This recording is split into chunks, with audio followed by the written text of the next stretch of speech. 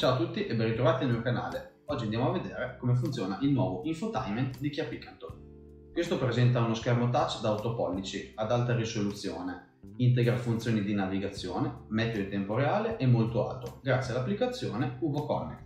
Andiamo a vedere nei dettagli come funziona. Nella parte sottostante dello schermo presenta le funzioni con i tasti rapidi, radio, media, le possibilità di cambio stazioni tasto preferenziale e il tasto menu. Premendo il tasto menu in alto a sinistra, aprendo il menu a tendina, si possono vedere che si possono modificare a proprio piacimento i vari widget. Andiamo ora a vedere cosa c'è all'interno del menu. La possibilità di utilizzare il telefono o configurare un eventuale telefono Bluetooth, Android Auto, Apple CarPlay, il manuale in formato digitale, cioè il libretto di istruzioni, promemoria vocale, radio, multimedia e impostazioni. All'interno delle impostazioni, invece, troviamo la possibilità di regolare l'equalizzatore, di connettere un eventuale dispositivo, di regolare la luminosità del display, il tasto pulsante, generale o wifi, che dopo vi andrò a spiegare. La funzione generale invece permette di regolare data e ora, aggiornare software di sistema, vedere le informazioni del sistema, cambiare la lingua e aggiornare la tastiera. La funzione Wi-Fi invece permette di utilizzare, una volta configurato il cellulare col Bluetooth, di utilizzare la propria linea internet come hotspot all'interno dell'abitacolo. Premendo su connessione dispositivo si apre la facciata che ci permette di collegare uno o più telefoni tramite Bluetooth. Inoltre, cliccando su proprietà di connessione, è possibile impostare un telefono come predefinito in modo che quando in auto sono presenti due cellulari la connessione avvenga in modo automatico con quello scelto.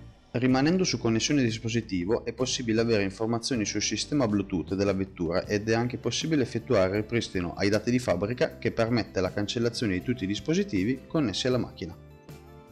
Premendo invece su proiezione a telefono avremo la possibilità di collegare un dispositivo Apple CarPlay o Android Auto senza utilizzare il cavetto USB. Torniamo ora al menu principale e analizziamo la funzione display da qui abbiamo la possibilità di regolare la luminosità, impostare il filtro luce blu, il salvaschermo e le altre opzioni di configurazione, ma è anche possibile modificare e personalizzare la schermata iniziale tramite widget. Sempre sul menu principale troviamo il tasto pulsante che ci dà la possibilità di assegnare una funzione a nostra scelta al tasto con la stellina e al tasto Mode. Il primo si trova sullo schermo in basso a destra fra i comandi rapidi, mentre il secondo è situato sul volante. Infine, nel menu principale troviamo la funzione manuale, da dove è possibile scannerizzare col proprio dispositivo il QR code e scaricare il manuale di istruzioni della macchina direttamente sul cellulare. Dopo aver analizzato l'infotainment di Kia Picanto, parliamo brevemente del funzionamento della PUVO, creata in esclusiva da Kia. Il sistema permette di digitalizzare la guida del tuo veicolo in due diversi modi, una volta attivati i servizi Kia Live usano la scheda SIM inclusa nel sistema di infotainment per recuperare e aggiornare dati in tempo reale, visualizzando le informazioni direttamente sullo schermo del navigatore.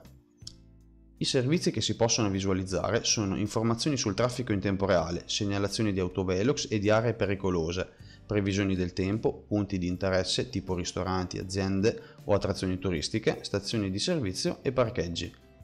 La Puvo è scaricabile sia per Android sia per iPhone e permette di gestire il veicolo anche da remoto, ad esempio visualizzando lo stato della vettura. Un'altra funzione interessante dell'applicazione è Trova la mia auto, che ti guida verso la macchina in pochissimo tempo. E ora siamo giunti alla fine, se il video vi è piaciuto lasciatemi un like, un saluto a tutti e al prossimo video.